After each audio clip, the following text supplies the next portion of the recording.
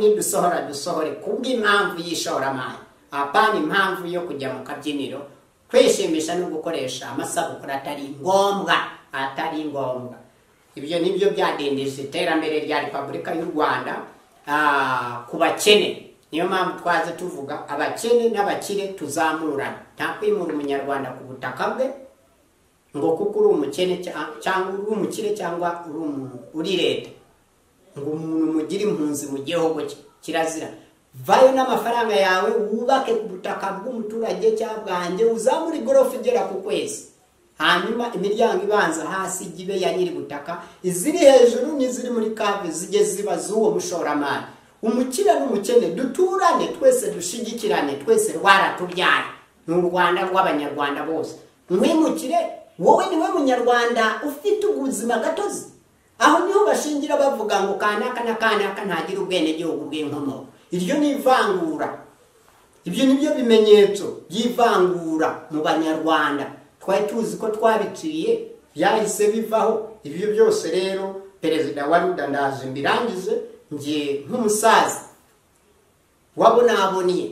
Kandi uwabonaboniye ni we wabonye. Utarabonabona ntabwo ubona. Kandi ijisho ry'umusaza ahirabura ni ho habona. Muzabaze icyatumye ryirabura kandi yaravutse ijisho ryari umweru ukagira ngo ni amata y'i rwanda cyaryirabuje cyarihindanije cyari iki? Ni akarengane k'ibihekane. Bityo rero ngenje gukuraho akarengane ako ari ko kose mu banyarwanda. N'abagana u rwanda n'inshuti zacu z'abanyarwanda.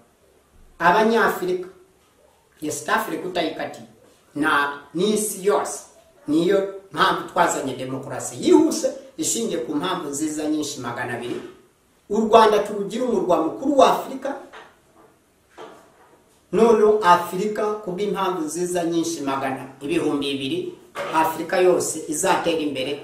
Izabe nta mipaka ifitemo hagati muri umunyafurika ajya atura aho ashaka izaba ari demokarasi yihuse amajyambere yihuse ubumwe bw'abanyafurika bwihuse.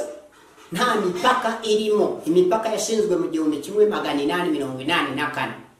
Na ba mukerarugendo bigenderaga mu mvugo y'abasaza bakorora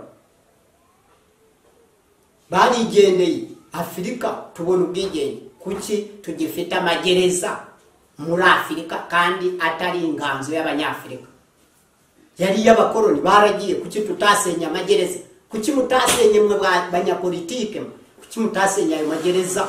Ahari gereza muhubaka ibitaro muvure abanyarwanda abanyafurika muhubake ishuri mwigishe abanyarwanda abanyafurika bajijuke muhubake ibikorwa remezo. Njye ndaje mpindure ibigoye mbihindure ibigori tugaburire abashonje bityo rero gereza nzazisenya mpubaka amashuri amavuriro n'amasoko n'ibindi bikorwa remezo. Murakoze cyane ku bw'iyo mpamvu ndi perezida wa ruda mu rwanda hose nkaba fondateri wa ruda. Nkaba n'umunyamategeko wa ruda. Imbere mu gihugu no ku rwego mpuzamahanga. Nshinzwe guhuza huza ruda n'abaruda n'abarudakazi n'uturuda duto tutarafata irangamuntu wherever they are aho baba aho ariho hose ni n'abandi b'inshuti z'abaruda bazigana iby'abaruda n'andi mashyaka yose ndayahamagarira aze yinjire muri ruda. Abakiri bato barambwiye batakare muri ruda. Abo bose andi mashyaka yose. Na afurika yose izaza muri ruda. Niyo mpamvu mubibona ko idarapo ry'abaruda ari umubumbe ari umubumbe ari umubumbe bityo rero n'isi yose. Ruda n'iy'aba- n'iy'abantu bose. Ni umubumbe wose. So ruda ni uburyohe ruda ni ubukombe. Wayisanga kuri wasakinga ugashyiramo ruda kuri netiwaka byose bikaza. Kuri facebook ushyiramo ruda bikaza.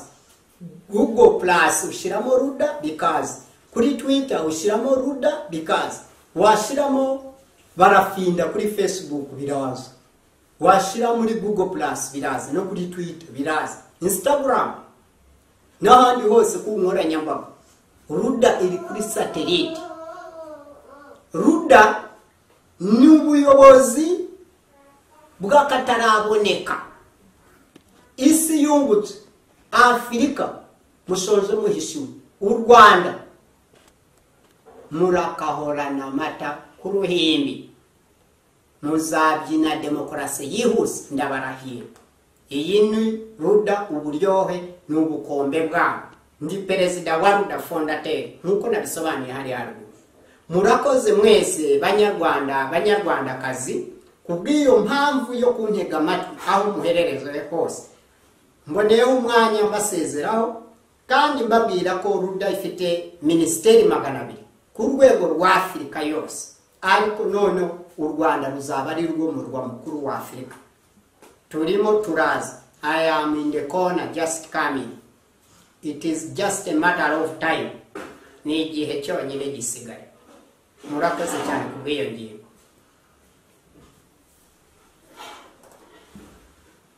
Amahoro masa masa masa.